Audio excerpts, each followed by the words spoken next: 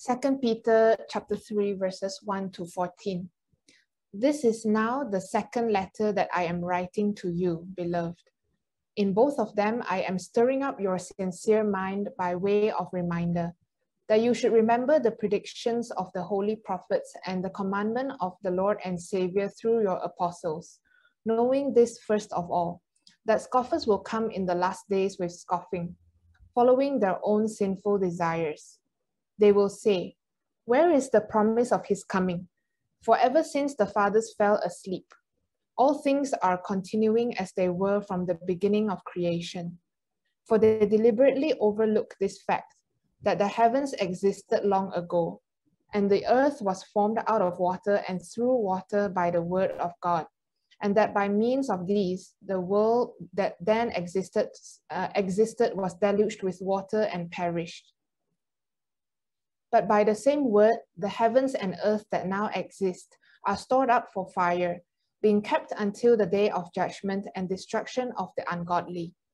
But do not overlook this one fact, beloved, that with the Lord, one day is as a thousand years, and a thousand years as one day. The Lord is not slow to fulfill his promise, as some count slowness, but is patient toward you, not wishing that any should perish, but that all should reach repentance. But the day of the Lord will come like a thief, and then the heavens will pass away with a roar, and the heavenly bodies will be burned up and dissolved, and the earth and the works that are done on it will be exposed. Since all these things are thus to be dissolved, what sort of people ought you to be in lives of holiness and godliness, waiting for and hastening the coming of the day of God? Because of which the heavens will be set on fire and dissolved, and the heavenly bodies will melt as they burn. But according to his promise, we are waiting for new heavens and a new earth in which righteousness dwells. Therefore, beloved, since you are waiting for these, be diligent to be found in him without spot or blemish and at peace.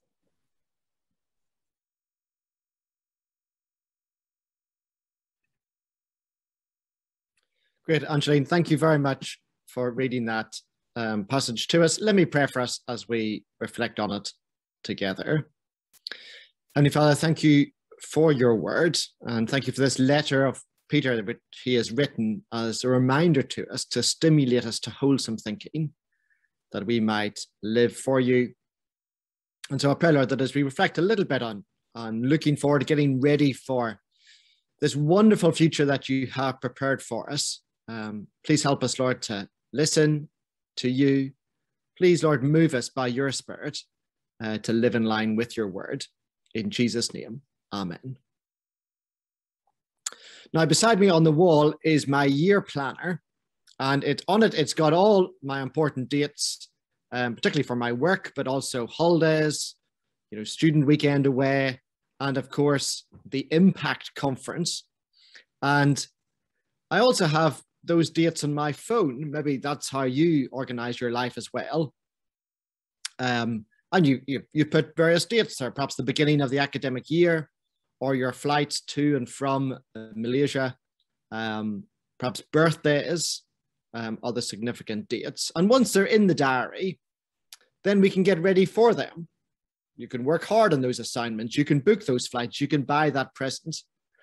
And I particularly like my year calendar on the on the wall because it reminds me of what's coming up. Because we know what we're like. It's easy to forget, and we need parents or college or our phone to remind us to get ready for what's ahead. If God had a diary, the next significant date in it would be the return of Jesus Christ to this world. What Peter in this chapter calls the day of the Lord a day of cosmic significance, a day of judgment when our present home will be destroyed, and a day of salvation when God will reveal a new heaven and a new earth, the home of righteousness, an extraordinary day. It's in God's diary, but it's not in ours. He can put a date to it, but we can't. And that's what makes it difficult to get ready for. it's easy to forget about it and to just live for ourselves for today. And even when we do think about it, does it really shape our plans and decisions? It's a real challenge to get ready for Jesus' return and our new home. And yet it is possible. And the Apostle Peter wants us to be ready. And so he's given us three reminders to help us. And the first is keep trusting in God's word. And that's vital because it reminds us there will be a new home. Peter has written these words because he wants his readers to remember the predictions of the holy prophets and the commandment of the, of the Lord and Savior through your apostles. And in particular, the commandment about the day of the Lord. Because others people are speaking about this day. Scoffers will come in the last days with scoffing, following their own sinful desires. They will say, Where is the promise of his coming?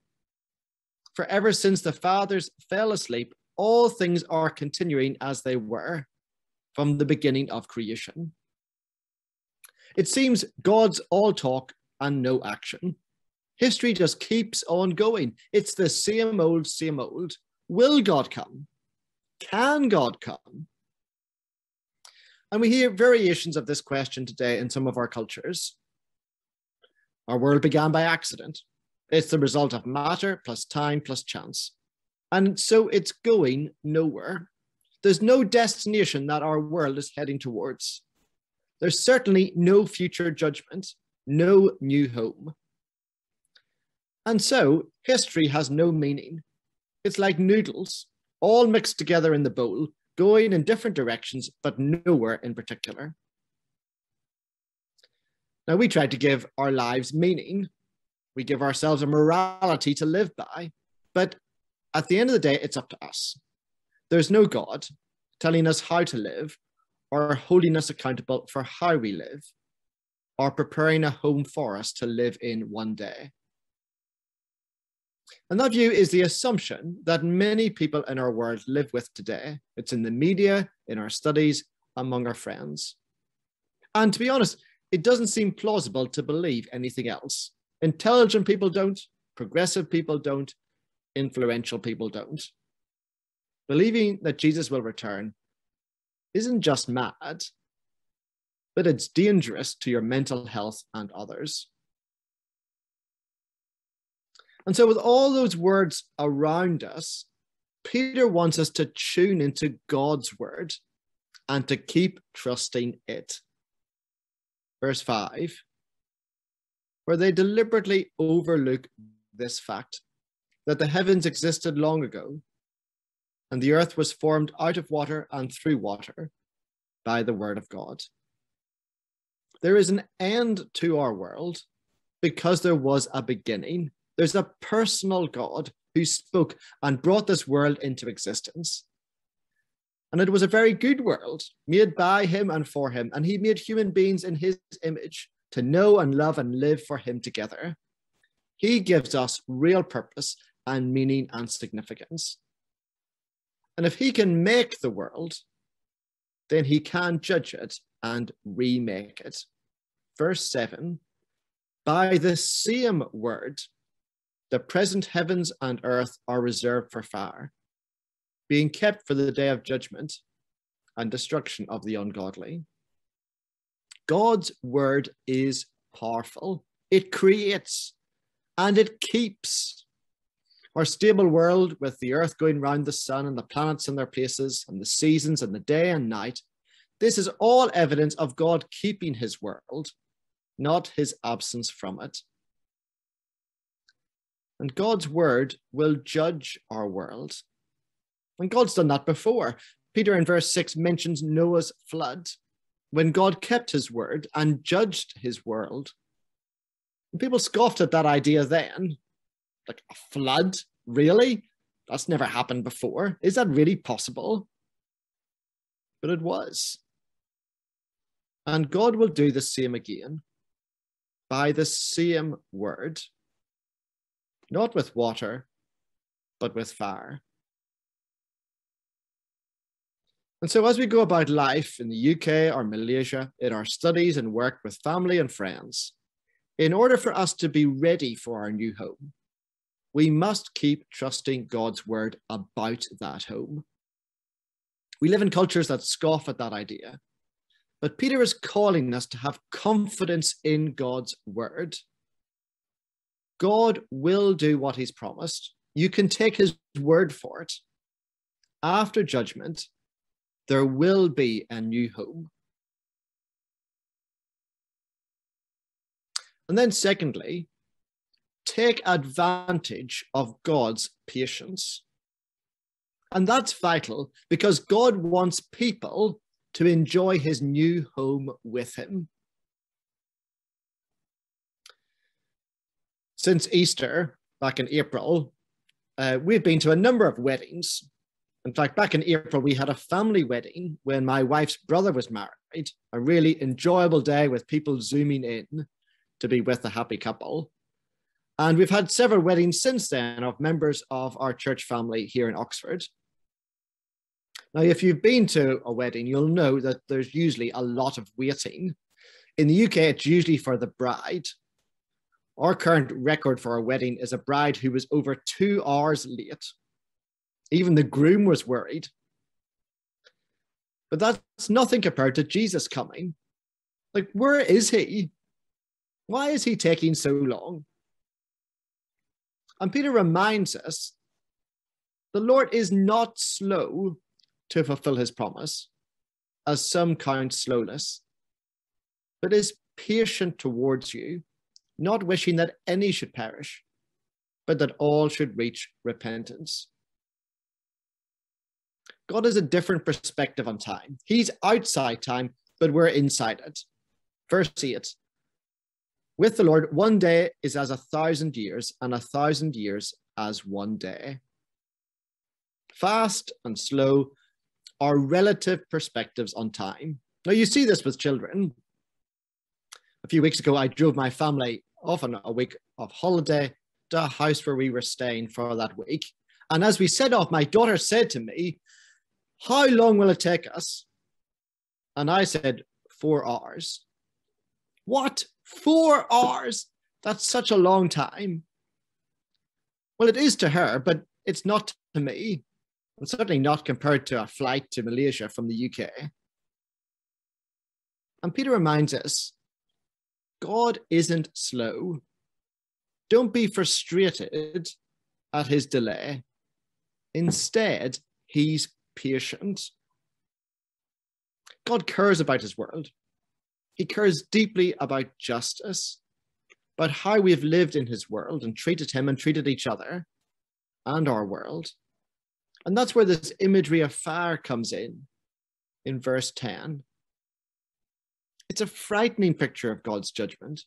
He will destroy this sinful world. Everything will be laid bare. Sin and evil were not a part of the world that God made, and He will punish them and remove them completely. God cares deeply about salvation. And so that's why, beyond the judgment, there will be a new heaven and a new earth where righteousness dwells. Now, for many of us, home isn't simply an address, a street name, or a house or apartment number, but home is the people. And God wants his home to be full of his people, righteous people so, how do we get there? Well, it's not by tidying up our lives. It's not like that student who tidies up their college room and you walk in and the floor's clear and the bed's made and the shelves are neat. But you open the wardrobe and the clothes fall out because they've just been shoved in out of sight. We can't tidy up our lives before God, giving the impression we're fine. God sees it all. It's all laid bare before Him. He knows our secrets, even if others don't. And it's not by being good enough. You can't pass God's judgment by having an excellent moral record with your own righteousness. It isn't like school or university, where many of us are striving to be good enough, to pass the course, to make the grade, to win the prize. God's home will be full of righteous people, not because of us, but because of Jesus. Jesus will come again because he came the first time. He stepped into history and he lived the righteous life we should have lived. And he died the death we should have died. And on the cross, Jesus took God's punishment for all our sins and was raised to new life. And so he offers to us let me take your sin, your unrighteousness, and let me give you my righteousness, so that on the day of the Lord, you can enter into the home of righteousness. When do we take advantage of this offer? We repent. We admit our sin to God. We come clean with Him, no secrets. We admit all our attempts to tidy up our lives or to be good enough are not good enough. And we turn 180 degrees from our sin and to our Savior, Jesus Christ. And trusting in Him, we receive His righteousness. Not everyone can sort out their lives, but anyone can repent. And Jesus hasn't returned yet because God's patient. He wants you in his home. So repent. Live a life of repentance, turning from sin and turning to Jesus. And as Christians, we thank God for his patience and for enabling us to repent. But this isn't just good news for a few people, it's good news for everyone. For that person down your corridor, for those people on your sports team or music group, for those friends on social media. Who could you share this good news with? Why not pray for someone who you could speak to and take the opportunity to speak of God's patience and love and new home? And then finally, look forward to God's day. And that's vital so that we get ready for our new home. What are you looking forward to? At the moment, I'm looking forward to my holidays, which begin on Monday. and we're going to the east part of England. And we're looking forward to exploring the countryside and eating good food and reading our books and spending time together as a family. Are you looking forward to God's day? to Jesus' return. Maybe after months of suffering caused by COVID and the struggles in our lives, and after seeing and experiencing the injustice in our world, we might say, Yes, I am looking forward to his coming. I want to live in a world that's better than this one. And Peter three times tells us to look forward to God's day. Our present world will end, with an encounter with the living God, and he will judge our world and usher in our new world. A number of years ago, a director was producing a play on Broadway in New York, and the rehearsals were going badly. Something wasn't right. And eventually, the director realized that the actress playing the lead role wasn't good enough. She couldn't handle the part. And so, in the end, he decided to swap the supporting actress and the lead actress. And that changed everything. The lead actress fitted the role perfectly. She performed the part as if she'd been made for it. And the actress who had been the lead did a great job in the supporting role. The rehearsals went well, and the play was a great success. And in a sense, that's the story of our world. Our world will never be right. We'll never be right if we live life as if we're the lead actor or actress, as if the script is all about us when it's not. God's directing the play, His world is the stage, and we're the supporting cast with Jesus Christ as the lead actor. The spotlight is on Him. And once we grasp that, then we can repent of trying to play the leading role and instead live out the supporting role we were made for. And Peter says, What sort of people ought you to be in lives of holiness and godliness? We're to be holy, set apart from Him. We're to be godly, being like Him, pleasing Him in every area of our lives. Verse 14 Be diligent to be found by Him without spot or blemish.